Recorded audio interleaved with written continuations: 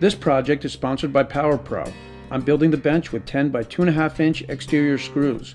The PowerPro Star Drive head with countersinking blades are perfect for this project. These are the tools you'll need for this project, a circular saw and a driver.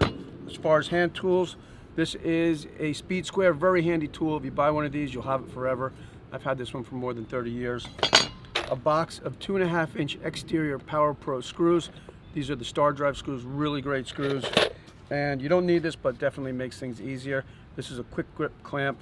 That's kind of like having a third hand. We'll need two of these rectangles for each side of the bench. So let's get started by cutting four of what I'm calling the legs at 15 inches. I'll use the speed square as a straight edge and take a little off the end to clean up that side. Next I'll measure over 15 inches, make a mark, and use the speed square to square across. Now line the blade up with that mark, use my speed square, and make the cut.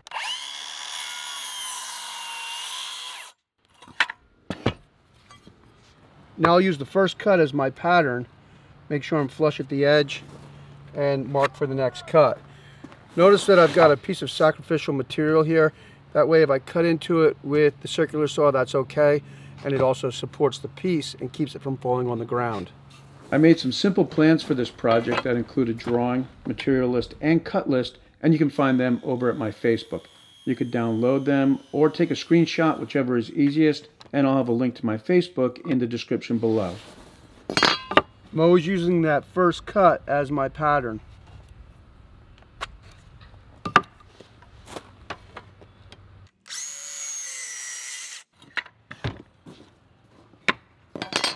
Now that I have the four legs cut, I'll move on to these pieces here. I'm calling those the cross braces, and I need four of them at 10 inches.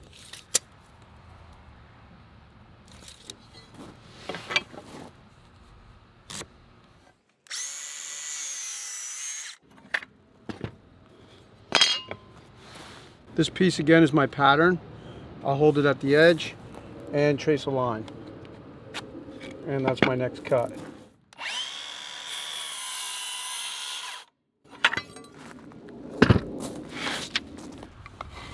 This is going to go together like this, flush at the top, and I'll measure up two inches from the bottom. So first I'll measure up, and then use my speed square again, square across, and then I can use that line, make sure I'm flush at the ends, and that's where the cross brace will go.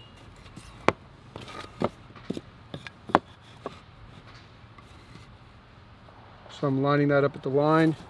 This is going to be flush at the top and I'll hold everything in place with this quick grip clamp. I've made sure that I'm right on the line and now I've got the two and a half inch screws. And I like to put the screw about three quarters of an inch from the edge.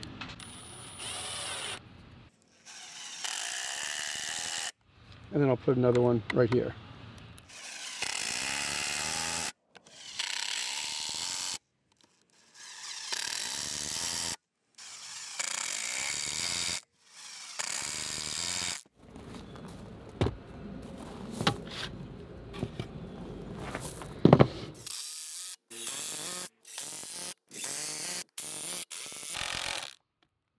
Okay, so you can see how these are the bench legs.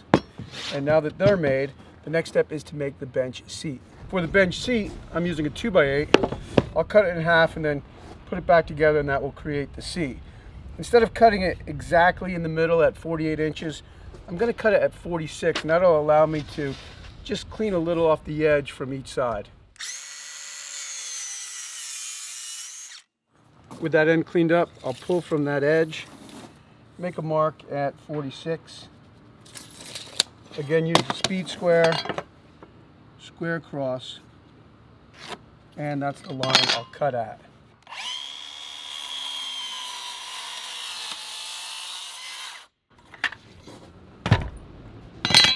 And now I'll use this board to measure the other one.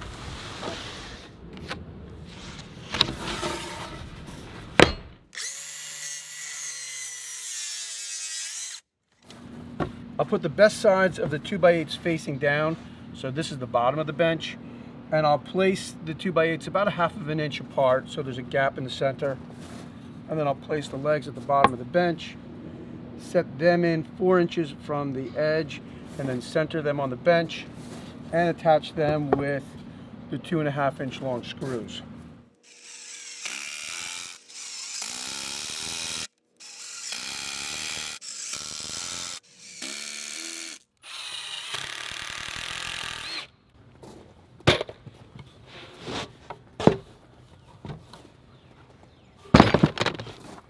Well, the bench already feels very sturdy, but since I have some wood left over, I'm going to cut diagonal braces that will tie the leg to the bottom of the seat, and that'll make the bench rock solid. I'm using the speed square again, but this time I'll use it to cut a 45.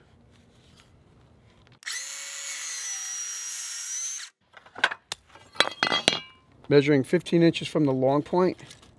Again, I'll make a mark and then use the speed square to trace the 45 and line up the blade with that 45 and make the cut.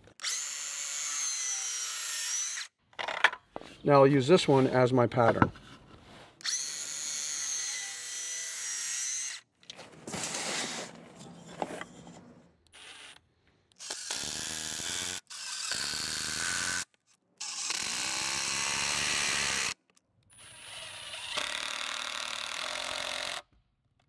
Here's a quick tip for starting and driving a screw in a board that's on an angle like this. So I want to drive the screw on a 90 degree angle. I don't want to go in like this. So the first thing I want to do is kind of get a height of where my screw should be because I don't want to go through the seat. Now when I start the screw, I'm going to start in at a 90 degree angle to the board.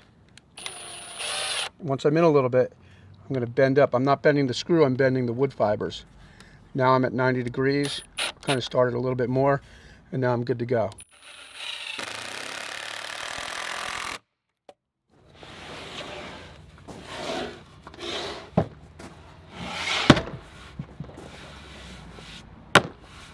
Okay, well that's a good solid bench that didn't take too long to make. And I think it would look good on any deck or in the garden. If you are going to put it in the garden, do yourself a favor and don't just put it in the dirt. Put a paver or a brick under each leg. And it's also a good idea to paint the end grain at the bottom of the leg and maybe even add a plastic dome. That will elevate the wood off the ground just a little bit and allow for some air circulation and keep the wood dry and from rotting and that will help your bench last longer. Don't forget you can find the plans on my Facebook along with some detailed photos of the bench. And if you're looking for more of a fine furniture build, check out the plans on my website. I'll have a link in the description below. I've got more than 20 professional plans on my site, all with video tutorials right here on YouTube. Thanks for tuning in, and I'll see you next time.